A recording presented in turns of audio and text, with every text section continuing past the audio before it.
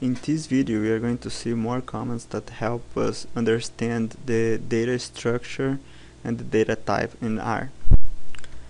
First let's create a matrix by from 1 to 100 by 10 by 10 dimensions.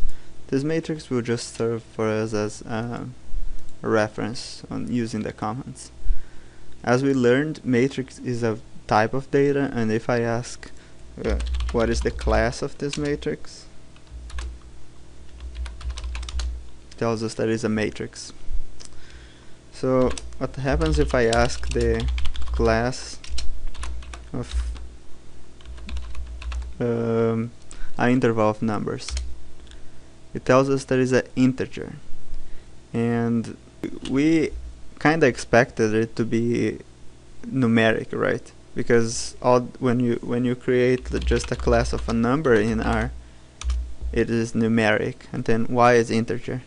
Well it turns out that R uh, has this integer type because uh, is the type most commonly used for numbers without fraction in both C and Fortran and the operations are way faster when dealing with integer numbers so sometimes R can be tricky with the data types and that's why I really recommend that you always check the type of the data that you're using because sometimes this can create some problems depending like for instance you're going to use a function that requires you to have a numeric and you pass as an integer sometimes it will not accept the integer and you have to convert them. So but an integer is a type of data that doesn't accept fractions so let's say I ask the class of a sequence of numbers it still tells us that it's an integer because it's the same as as before. But if I ask a sequence of numbers with a fraction with a uh, interval that is a fraction see that it turns out now to be numeric because as I said the integer can't support a, number with a fraction. And let's learn new commands on how to understand the structure. There is the command str which tells us the structure of uh, a variable. Here we see that the structure of this matrix is int which is the same as the integer from 1 to 10 in the bo both dimensions and here we have a small sample of the data. Structure the str command it's very useful on understanding data frames and lists because it like I said like a data frame can contain another data frame which can contain a list which can then contain con contains a matrix. And this str command it explores all the the variable telling us the whole structure of it. Uh, another useful command is the summary command it uh, the summary command it gives us a summary of every column. And this is really useful because usually the our data will be organized in each column will have the same kind of information. For instance precipitation or temperature. And so having a summary with the minimum maximum medians can be very handy when trying to understand be better understand your data. Then we have the command dim which tells us the dimension of a of a data. Here this matrix is 10 by 10 like we created it. And we have also the length the length comment which gives us the length. It's important to note that arrays don't have dimensions, only have length.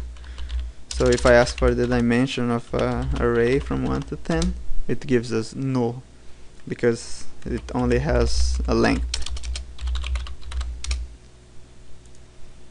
Uh, I would really advise you to highlight these comments in your reference sheet because I can assure you that you will be using them a lot. They're really important on understanding your data. Uh, next I would like to talk about the NA. NA is used when there is no data for this specific point. And this is very common in meteorological data in which we will study because sensors have problems sometimes the they just lose the data and there is NA, NAs then on them. So let's just create a matrix here with, uh, no, a vector here with with some NAs to try to understand better. 5, 3, 6, NA, 9. Okay, so we have the command NA omit which will simply not show the NAs, we'll just ignore that they exist. You can see here just the elements without the NA. Uh, this here is like the the command NA returns some additional attributes, and th this this attribute structure is not very used in R, but so I will not go into details because I rarely see this being used, but just to to you to have an idea how to use it if I attribute that to a variable called x, the same thing. So to to use this th this attribute here tells us which uh, elements were omitted, the element 1 and the element 5. So if I ask the attribute NA action from the variable x, I get the two variable two elements that were omitted.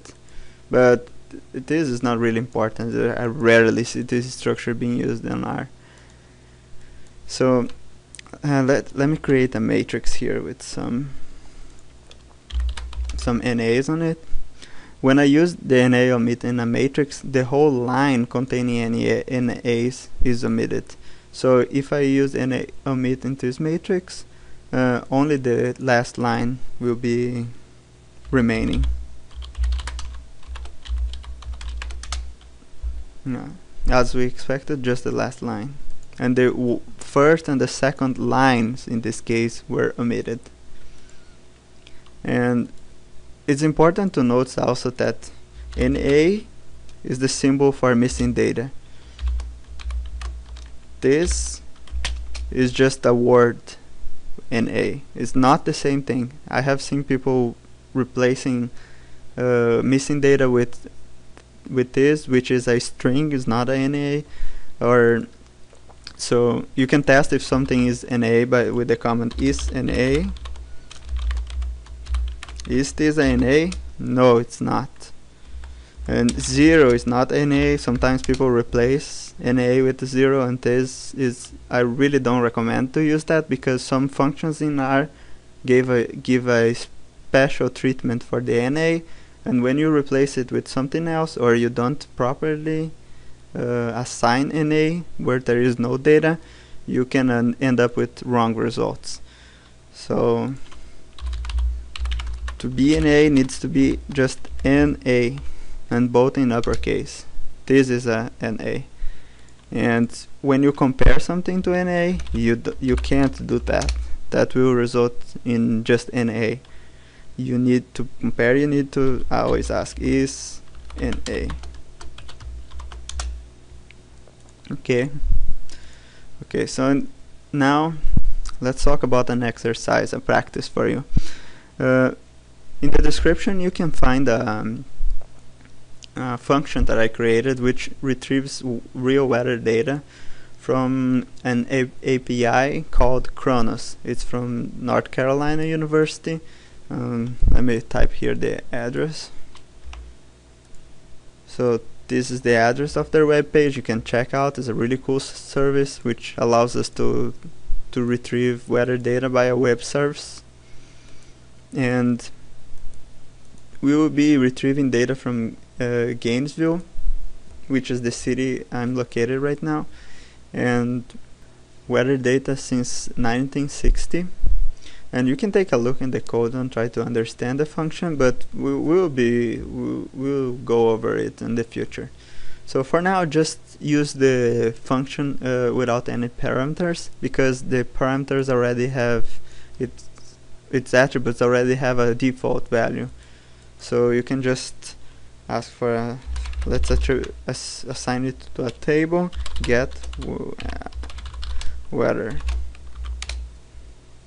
okay? And now the table has the weather so in the exercise I would like you to to understand better understand this data that we got in the table variable. I mean like use the structure command the str the summary the um, class and understand this variable and also understand which kind of data is each of these columns. You can select a single column and then ask what is the class of it and what is the structure of it and you know maybe suggest how to improve this data because the format you see that is not really correct the way it is right now. So um, in the next video we are going to go over this this process. I'll see you there then.